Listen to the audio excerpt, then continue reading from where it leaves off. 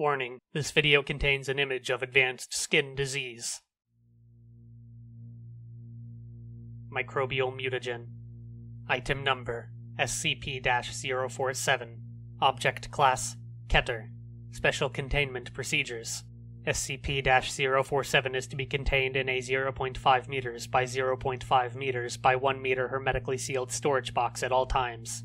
This box is to be locked in Storage Locker 047A inside P3 Secure Biohazard Lab 047B.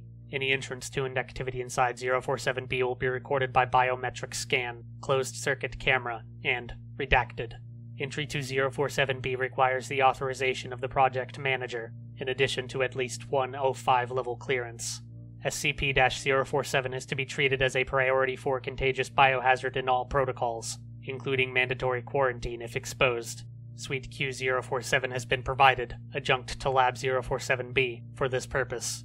In the event of outside contamination of SCP 047 1, Lockdown Protocol 047 01 Yersinia must be engaged. Description SCP 047 is a heavily rusted, breached gas cylinder made of an iron blank alloy.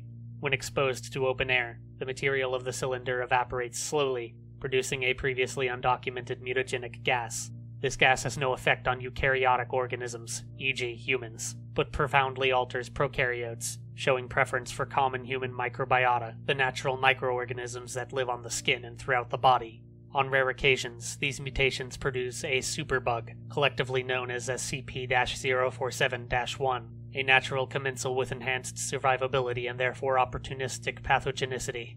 The pattern of changes induced by SCP 047 suggests that these highly infectious microbes are, at least to some degree, selected for. Although the specifics of SCP 047 1 species are dependent on the base bacterium from which it is derived, there are several characteristics which appear to be generally consistent across all cases of SCP 047 1 mutation enhanced survivability in the bacterium's natural environment and similar environments, full spectrum antibiotic resistance, increased reproduction rate and consumption of available material, development of a sporulation ability in gram positive bacteria, increased ability to uptake, hold, and share plasmids, particularly in gram negative bacteria, increased transmission due to traits described above.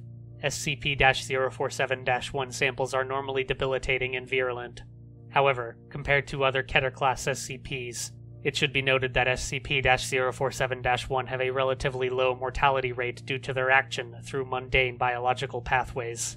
Several strains of bacteria have been selectively mutated by SCP 047. Mutation of bacteria in culture is possible, but the process appears to be much more effective with bacteria living on a human host.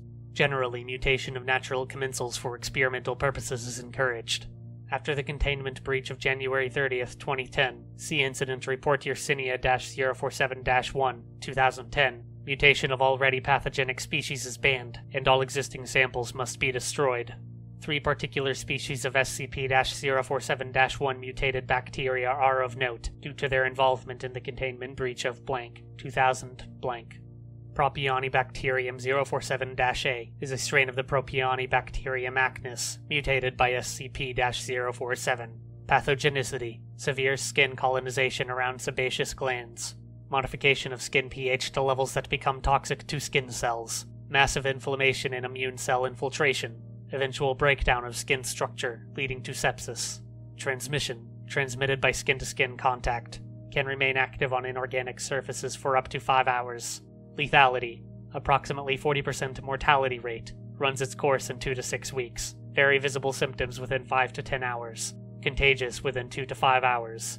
Handling. As soon as visible symptoms form, victims must be quarantined. Deceased victims should be incinerated. Streptococcus 047 C is a strain of Streptococcus mitis mutated by SCP 047. Pathogenicity causes inflammation of the mouth and esophagus initially, leads to open sores in the mouth, which result in S 047 C entering the bloodstream and becoming septic. Death is usually due to infectious endocarditis. Transmission, droplet, can remain active indefinitely by sporulation. Lethality, approximately 35% mortality rate, may become a recurring chronic condition if non lethal. Handling, subjects with any sign of mouth infection should be quarantined. Deceased victims should be incinerated. Clostridium 047-A is a strain of Clostridium difficile mutated by SCP-047.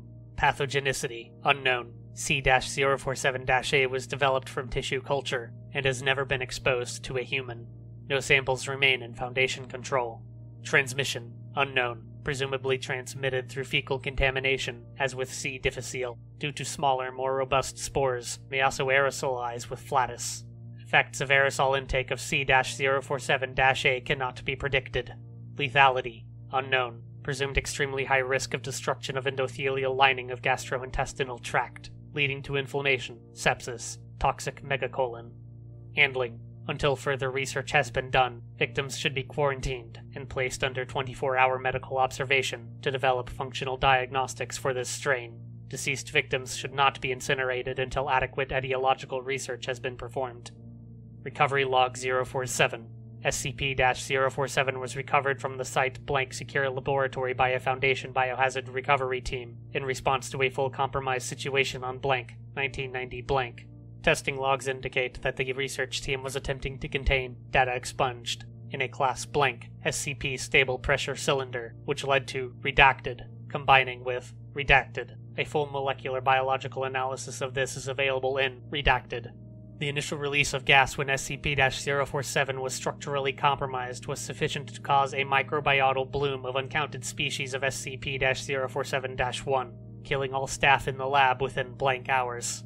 Exposed site blank staff obeyed standard Foundation quarantine slash containment protocol, and the infection was contained successfully.